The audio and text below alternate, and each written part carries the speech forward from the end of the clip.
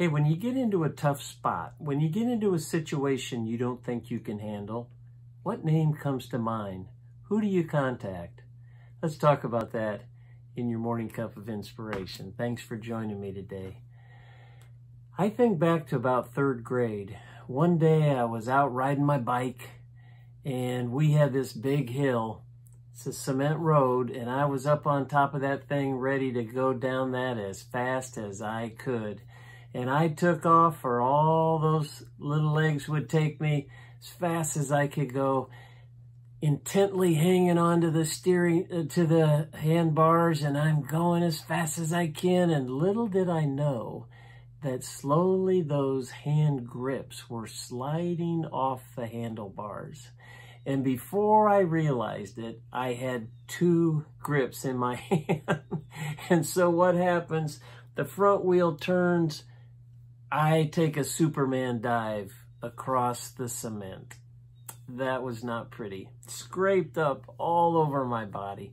I was on the road. I looked across to my house, uh, across the vacant lot, and I saw my mom outside, and she was saying bye to some friends that had been visiting.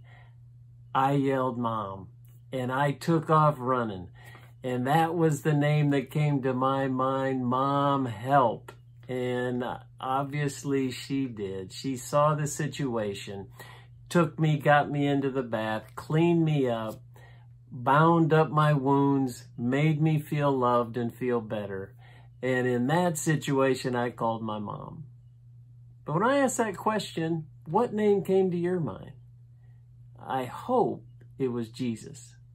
Jesus is the name that can solve every problem. There is so much strength in the name of Jesus. Listen to the story in Acts. It's the third chapter.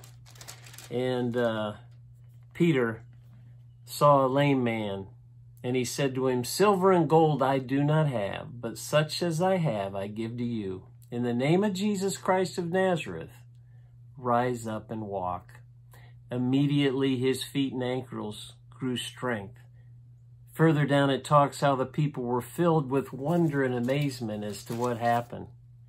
Later on in the chapter, it says, In his name, through faith in his name, this man was made strong. In the fourth chapter, it goes on to say, By the name of Jesus Christ of Nazareth, Nazareth, whom you crucified, whom God raised from the dead, by him this man stands here before you whole. It was all done in Jesus' name. Verse 12 of the fourth chapter, Nor is there salvation in any other, for there is no other name under heaven given among men by which we must be saved. Never lose sight today of the power of the name of Jesus for salvation, for strength, for healing, for peace, whatever you need today Cry out to Jesus. He will be there.